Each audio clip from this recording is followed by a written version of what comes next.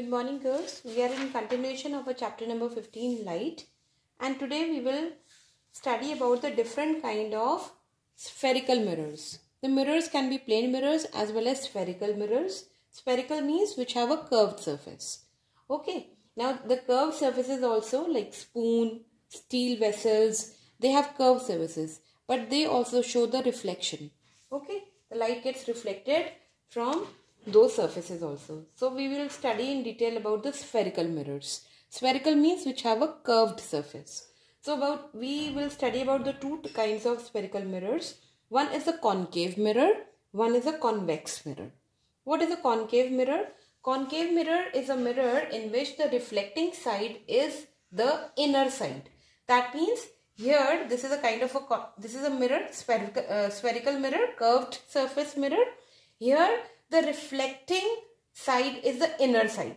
That means if the light falls here, it will not get reflected back. Light has to fall on this side, then only it will get reflected. Okay. Now it is also called converging mirror. Why? Because the light after the reflection, when the light falls on this, falls on this, then it gets reflected back. And when it gets reflected back, it meets at a point. It converges at a point. So it is called converging mirror. Is that clear? See how it, it happens. This is a uh, this is a spherical mirror. Okay, concave mirror. The light falls here, light goes here and it gets bounced back. It goes like this. Then light comes here also. Again it goes back and come like this. Then light comes here also and it goes back like this and it meets at a point. Right? So, after the reflection, the light, it meets, the rays of the light, they meet at a point or they converge at a point. That's why it is called converging mirror. Second is a convex mirror. Convex mirror is a mirror where the reflecting side is the outer side. That means this side is the reflecting side, not the inner one. Okay. And what happens when the rays of light, they fall on this they diverge. That means they do not, they spread out. They do not meet at one place. Right? That's why it is also called diverging mirror. But what happens? When the rays they get diverted, that means they get diverged, they get spread out, they appear to meet on the back side of the mirror. They are not meeting in the real. In the real, they are spreading out. But they appear to meet at a point inside the mirror okay? And they will meet here. The image will be formed. Image will be formed here also. Image will be formed here also. But the different kind of images are formed in both the cases. We will study about that. Just now you have to remember that this is the convex mirror where the reflecting side is the outer side. And the rays after reflecting they diverge they spread out. That's why it is also called diverging mirror. Right? Now what we will do here we will study one experiment the activity to show that the parallel beam of light after reflection from a concave mirror converges at a single point in front of the mirror.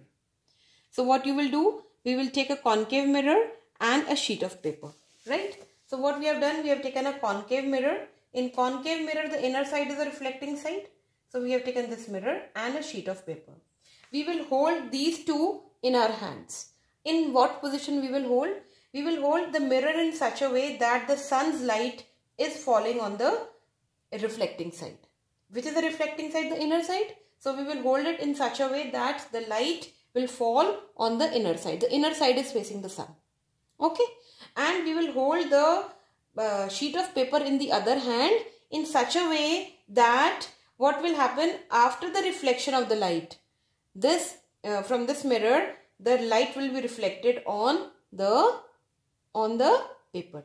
When it goes back here so we will hold the paper in such a way that the light will fall back on this.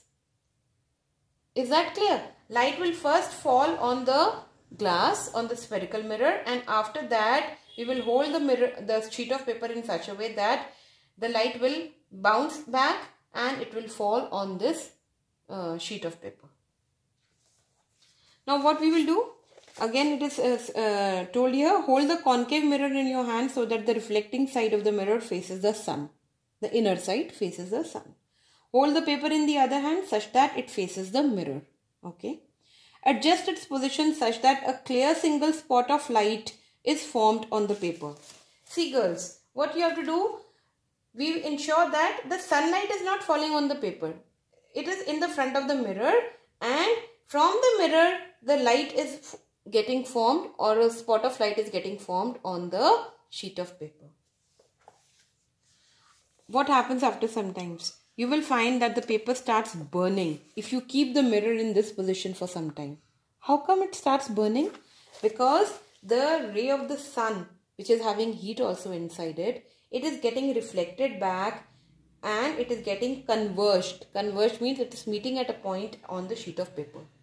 When it is hold like it is held like this for some uh, period of time for maybe some few minutes or something then the continuous reflection of the light it will start it will make the paper burn okay this shows that the parallel beam of light after deflection from a concave mirror converges at a single point okay now what we will do now there is an, another activity for here we will use the two different kinds of mirrors, the concave mirror on one time and the convex mirror. Now, uh, what is the procedure? We take, uh, light a candle and fix it on the candle stand. We have taken a candle, we have fixed it here. Place a white screen near the candle. Okay, we have put a white screen near the candle. Keep the concave mirror in front of the candle. This concave mirror should be in front of the candle here. So that its rays falls on the concave mirror right then uh, keep the concave mirror in front of the candle and the screen okay it is between the screen and the candle adjust the position of the mirror so that a clear image of the candle is formed on the screen. Why? Uh, see how come the image of the candle will be formed here? Image of the candle will be formed here. Why? Because this candle is going the beam of the light is going at the concave mirror and from here it is reflected back. And so the this candle image will be formed on the sheet. Right now keep the mirror a little close to the candle. We will keep on changing the position of the concave mirror. We will bring it near to the candle. Then we will see what will happen to the screen. Then what is there? It will if we take it away then we will see what is happening with the screen. Same thing what you will do, you will put a convex mirror and you will try both the cases. Once you will put, take it near to the candle and the other time you will take away from the candle. From this, what are the inferences that we have derived? The inferences that we have derived is in the case of the concave mirror. Now this table is very important. You have to learn this table. In the uh, what happens in the concave mirror when it is close to the mirror a real image is formed invert which is inverted and magnified. Magnified means which is larger than the object. When it is very close to the mirror, then the image becomes virtual. Okay? Virtual means that is not real. That is appearing to meet. That is not a real image, but image is there.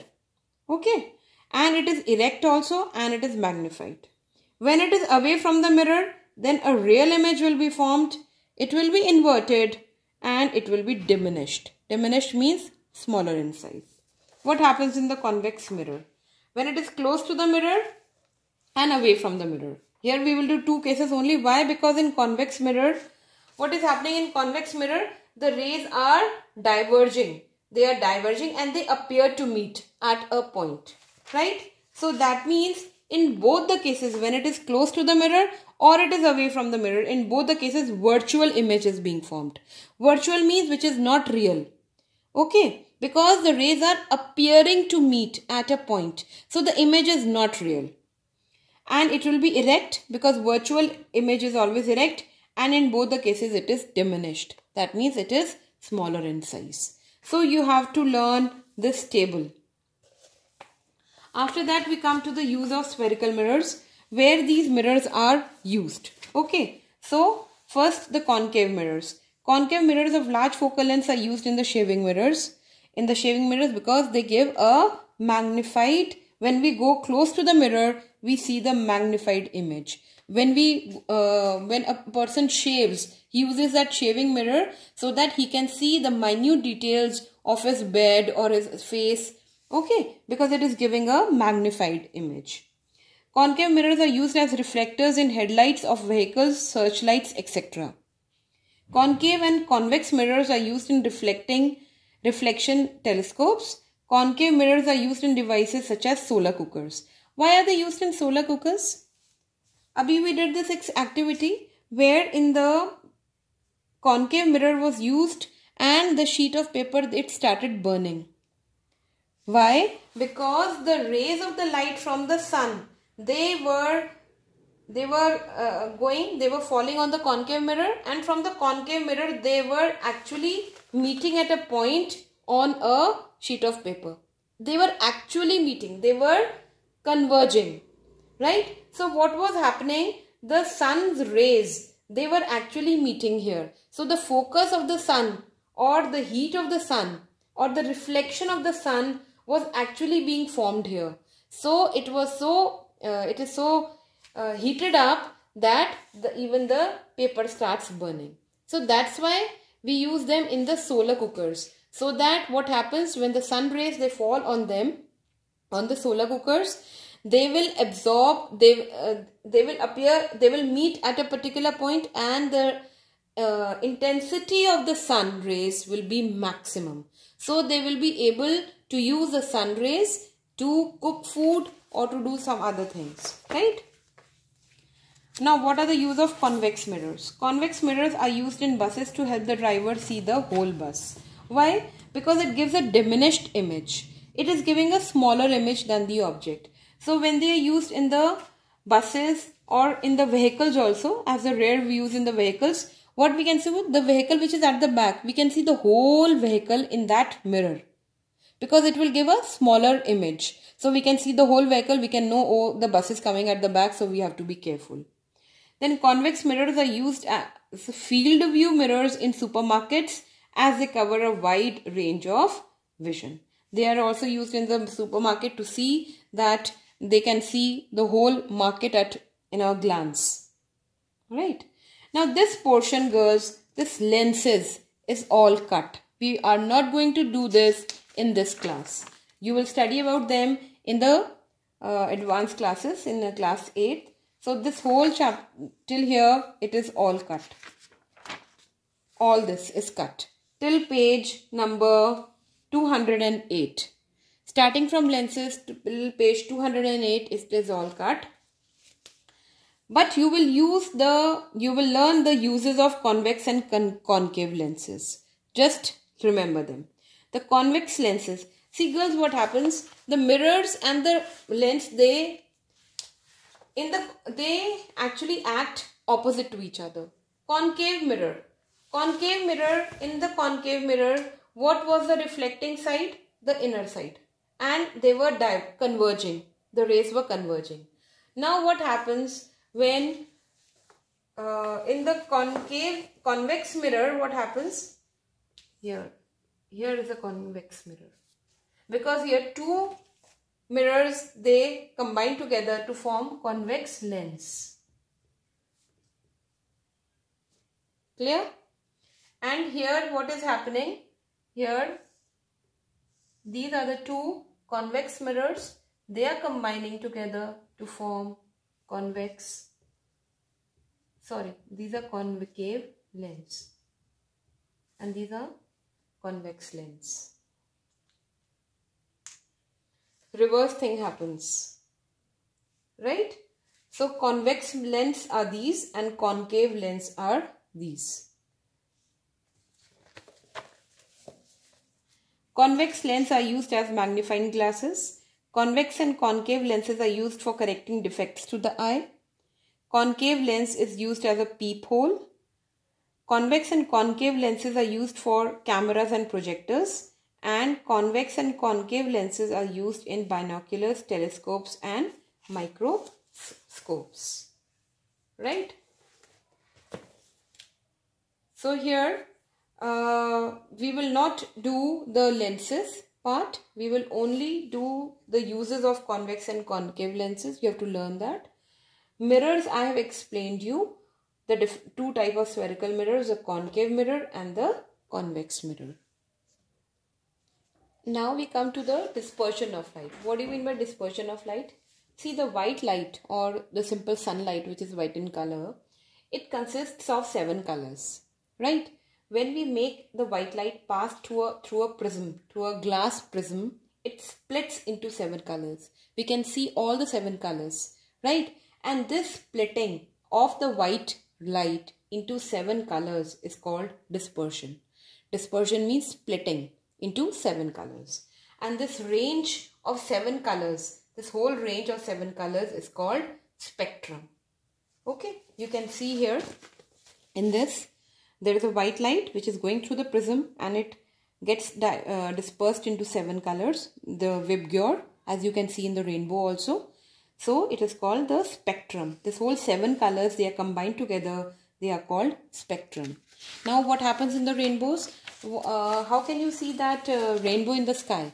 What is happening? There is the sunlight over there, okay? And still there are water droplets in the air. So these water droplets, they act as a prism. So when the white light or the sunlight, it passes through these water droplets, it gets split or it gets dispersed into seven colors. And those seven colors you can see as a rainbow in the sky. Is that clear? Now, there uh, the question is, suppose this prism is used to split a white light into the seven colors. Now, can those seven colors be again combined? Yes. What you do, you put two prisms in front of each other. Okay. When the light will pass through one prism, it will split into seven colors. And when these seven colors will go through the another prism, it will come out as a white light. It will combine together and it will be formed as a white light. You can see here. Now, Newton's disk. What is Newton disk? Newton disk can also be used to show how the seven colors can again be combined to form a white color. It is a disk which is containing seven colors. The area of the disk is divided into seven equal parts and each part is colored using each of seven colors. Okay, there is a disk which is divided into seven equal parts and each part is colored into seven color. If you rotate the disc, if you rotate it in a very high speed, then it appears white in color. So all the colors they merge together, they combine together to form white color. Right? So with this girls, we come to an end of this uh, chapter. I will send you the book questions here, the short exercise questions. And the short and the long answers I will send you in the next session. I hope everything is clear to you.